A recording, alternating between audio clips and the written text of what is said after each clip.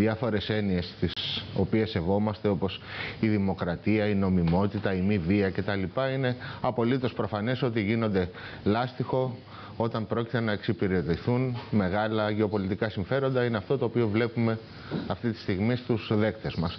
Το δεύτερο είναι ότι αν κοιτάξει κανείς τον, το χάρτη της Ουκρανίας θα διαπιστώσει ότι είναι ε, σχεδόν πλήρης ο, ο γεωγραφικός ε, διαχωρισμός των περιοχών τις, ε, οι οποίες είχαν υπερψηφίσει τη σημερινή κυβέρνηση και των περιοχών ε, οι οποίες είχαν υπερψηφίσει τη σημερινή αντιπολίτευση. Δηλαδή, ε, βορειοδυτικά είναι η της αντιπολίτευσης, να το πούμε έτσι χοντρικά, πιο κοντά στην Δυτική Ευρώπη και νοτιοανατολικά προς, την, ε, προς τη Μαύρη Θάλασσα είναι οι περιοχές οι οποίες σχηματικά θεωρούνται ε, φιλορωσικές. Μέσα σε αυτό το καμβά λοιπόν φτιάχνεται όλο αυτό το πράγμα το οποίο όπως σωστά είπαν και οι άλλοι δύο συνάδελφοι έχει στην άκρη του κάποια γεωπολιτικά και ενεργειακά συμφέροντα.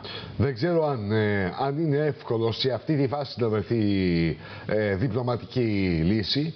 Ε, δεν ξέρω αν οι, οι διπλωματικές ε, προσπάθειες που γίνονται στο παρασκήνιο μπορεί να ευωδώσουν σε τόσο σύντομο χρόνο ώστε να σταματήσει αυτό το, το άγριο αιματοκύλισμα που βλέπουμε στους ε, δέκτες μας. Από το πρωί Από το πρωί.